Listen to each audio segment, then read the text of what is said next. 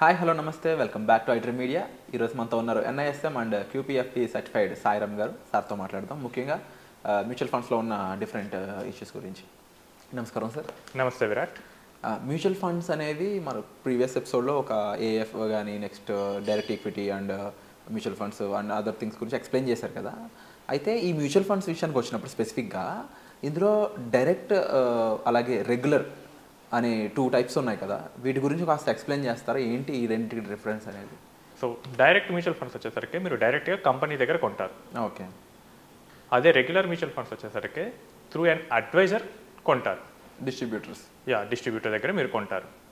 So ఇదే difference so ఇక్కడికి వచ్చేసరికి డైరెక్ట్గా మీరు కొనేటప్పటికి డిస్ట్రిబ్యూషన్ ఎక్స్పెన్సెస్ ఉండవు కాబట్టి మీకు ప్రైస్ కొంచెం తక్కువ ఉంటుంది. ఓకే. అదే రెగ్యులర్కి వచ్చేసరికి డిస్ట్రిబ్యూషన్ ఎక్స్పెన్సెస్ కూడా మీకు యాడ్ అవుతాయి కాబట్టి ప్రైస్ కొంచెం ఎక్కువ ఉంటుంది. ఓకే. సో సాయిరామ్ గారు మీరు ఇక్కడ డైరెక్ట్లో పెడితే డైరెక్ట్ తక్కువకి వస్తుంది అంటున్నారు కదా. సో ఇదే బెటర్ అంటారా రెండిట్లో? ఓకే. సో దీనికి నేను ఒక ఎగ్జాంపుల్ తీసుకుంటాను. సో ఒక మ్యూచువల్ ఫండ్ పోర్ట్ఫోలియోలో మీరు ఏ ఏ ఫ్యాక్టర్స్ డిసైడ్ చేస్తుందంటారు రిటర్న్కి ఎక్స్పెన్స్ రేషియోనా ఫండ్ క్వాలిటీయా ఫండ్ పర్ఫార్మెన్సా లేకపోతే మన పోర్ట్ఫోలియోలో ఉన్న ఫండ్ రేషియోస్ ఏ స్టాక్ ఏ మ్యూచువల్ ఫండ్ ఎంత ఉంది డెట్ ఎంత ఉంది ఈక్విటీ ఎంత ఉంది. సో ఇంకొక కేసు తీసుకోండి. సో గూగుల్లోకి వెళ్ళి small caps sort by expense ratio కొట్టండి. సో టాప్ త్రీ తీసుకోండి. ఓకే. అంటే ఎక్కువ ఎక్స్పెన్స్ రేషియో ఉన్న త్రీ ఫండ్స్ తీసుకోండి. ఆ వాటి మధ్య డిఫరెన్స్ వచ్చేసరికి పాయింట్ త్రీ మ్యాక్సిమం ఉండొచ్చు. సో ఒకటి టూ పాయింట్ టూ ఉంటే ఒకటి వన్ పాయింట్ నైన్ వరకు ఉండొచ్చు.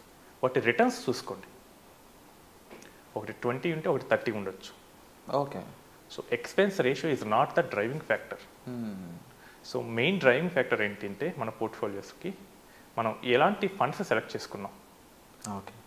సో అందులో కూడా ఈక్విటీ ఎంత ఉంది డెట్ ఎంత ఉంది కరెంట్ మార్కెట్ కండిషన్స్ ఏంటి? సో ఇవి మెయిన్గా మనకి చూస్తాయి. ఈ ఫ్యాక్టర్స్ ఎక్కువ ఇంపాక్ట్ చేస్తాయండి. యా ఈ ఫ్యాక్టర్స్ ఎక్కువ ఇంపాక్ట్ చేస్తాయి. ఫర్ ఎగ్జాంపుల్ మీరు డైరెక్ట్లో వెళ్ళారు. సో మీరు కూడా ఒక నాలుగైదు ఒకే స్కీమ్కి అయితే వెళ్ళరు కదా. నాలుగైదు స్కీమ్స్ పెట్టారు. డైవర్సిఫై డైవర్సిఫై చేశారు. ఒక డెట్ స్కీమ్. ఒక మూడు ఈక్విటీ స్కీమ్స్ పెట్టారు. సేమ్ రెగ్యులర్లో కూడా అలానే ఉంటుంది. సో చాలామంది ఇన్ఫ్లుయెన్సర్స్ చెప్పినట్టు వన్ పర్సెంట్ ఏం డిఫరెన్స్ ఉండదండి. సో డెట్ కూడా యాడ్ అవుతుంది కాబట్టి మన పోర్ట్ఫోలియోలో maybe point eight percent difference రావచ్చు. అదే portfolio level independent stocks independent mutual fund కాకుండా అదే పోర్ట్ఫోలియో లెవెల్లో మీకు పాయింట్ ఎయిట్ పర్సెంట్ డిఫరెన్స్ రావచ్చు.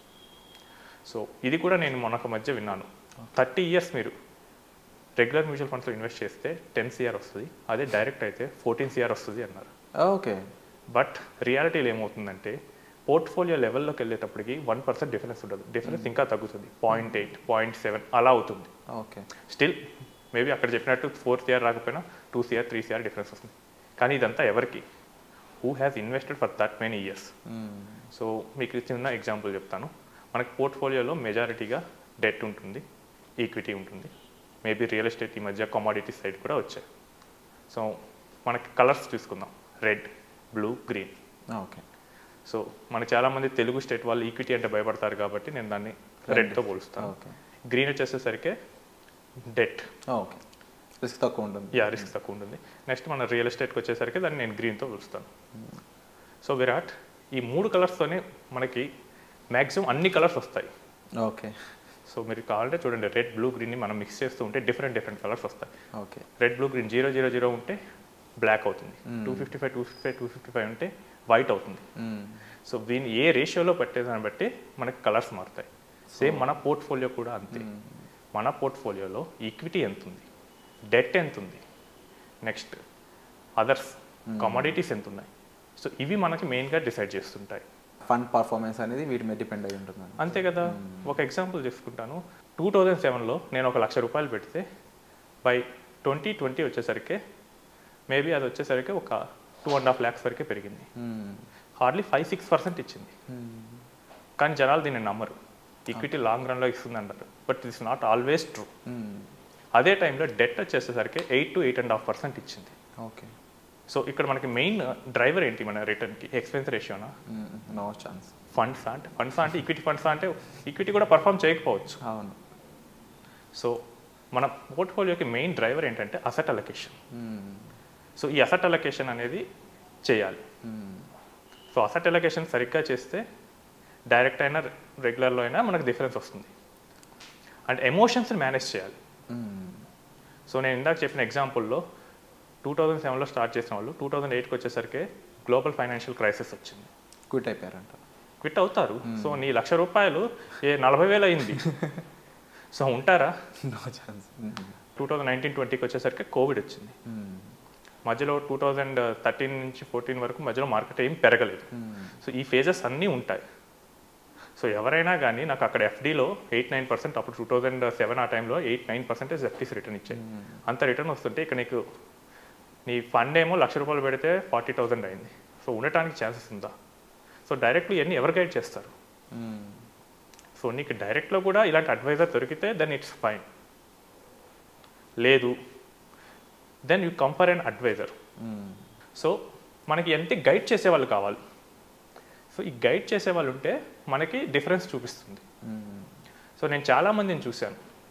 They will invest directly without an advisor so డైరెక్ట్లో కూడా మనకు అడ్వైజర్స్ ఉన్నారు. దేర్ ఆర్ పిఎంఎస్ మేనేజర్స్ మనకు బల్క్ అమౌంట్ ఉంటే వాళ్ళు హెల్ప్ చేస్తారు direct mutual funds there are registered investment advisors who will do with normal amounts కూడా వాళ్ళు హెల్ప్ చేస్తారు. సో వాళ్ళ గైడెన్స్ తీసుకోండి. నెక్స్ట్. నేను చాలామందిని చూశాను రెగ్యులర్లో వితౌట్ అడ్వైజర్ కూడా ఇన్వెస్ట్ చేస్తారు. ఓకే. అది ఎలా జరుగుతుంది సార్? సో ఈ మధ్య మనకి చాలా యాప్స్ వచ్చాయి. సో మన మొబైల్లో ఉండే famous UPI app of course so మీరు ఓపెన్ చేసి చూడండి. వాళ్ళు అక్కడ ఏం అడ్వైస్ ఇవ్వరు.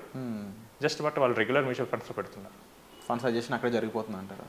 ఫండ్స్ వాళ్ళు ఏముంది? జస్ట్ టాప్ పర్ఫార్మింగ్ ఫండ్స్ అని చూపిస్తారు. మన లోపలికి వెళ్ళి పెట్టేస్తున్నాం. అక్కడ ఏం అడ్వైజర్ లేడు.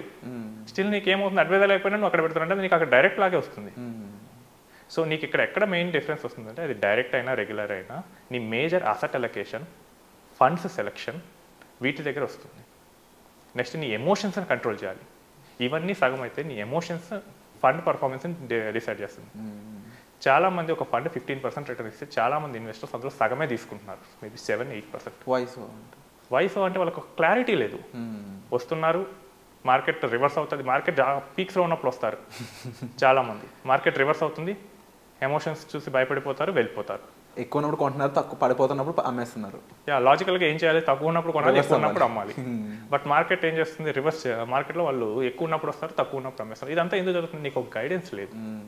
సో నీకు ఒక గైడ్ ఉంటే డైరెక్ట్ అయినా రెగ్యులర్ అయినా ఒకేలాగా వర్కౌట్ అవుతుంది. మీరు ఇందాక చెప్పిన విధంగా చూసుకున్నట్లయితే ప్రొఫెషనల్స్ని మీట్ అవ్వడం ద్వారా ఏంటంటే ఆ అనాలిసిస్ అనేది చేసుకోవడానికి ఇబ్బంది ఉండదు. అండ్ ముఖ్యంగా మీరు ఫండ్ మేనేజర్స్ కూడా ఉంటారని చెప్పారు డిస్ట్రిబ్యూటర్స్ అయినా.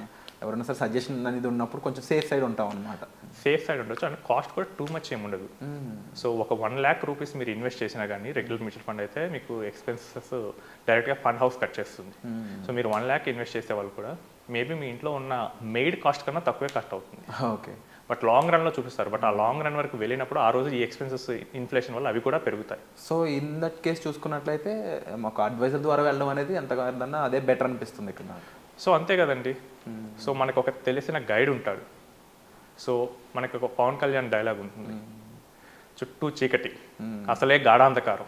ఇల్లేమో దూరం. ఈ జర్నీ చాలా దూరంగానే ఉంటుంది. ఆ టైంలో ఒక లైట్ లాంటి వాడు అడ్వైజర్. సో ఆ లైట్ ఉంటే మనం ఈజీగా వెళ్ళొచ్చు. Wonderful example sir and definitely I think ఇక్కడ రైట్ ఇన్ఫర్మేషన్ uh, అయితే మీకు దొరికిందని అనుకుంటున్నాను. సో యాజ్ అన్ అడ్వైజర్గా సార్ చెప్పిన విషయాలు ఏవైతే ఉన్నాయో అవన్నీ కూడా ప్రతి ఒక్కరికి ఇంపార్టెంట్ అనమాట రైట్ ఇన్వెస్ట్మెంట్ కానీ లేకపోతే రైట్ చూస్ కానీ లేకపోతే రైట్ టైంలో uh, మనం క్విట్ అవ్వడం కానీ రైట్ టైంలో ఇన్వెస్ట్ చేయడం ఇవన్నీ తెలిసి ఉండాలి. ఇవి తెలిసిన పర్సన్ అయినా మనం కాంటాక్ట్ చేయాలి. సో దీనికి తగ్గట్టుగా మీరు డిస్ప్లే నెంబర్స్ కాల్ చేయడం ద్వారా సార్ మీట్ అవ్వచ్చు.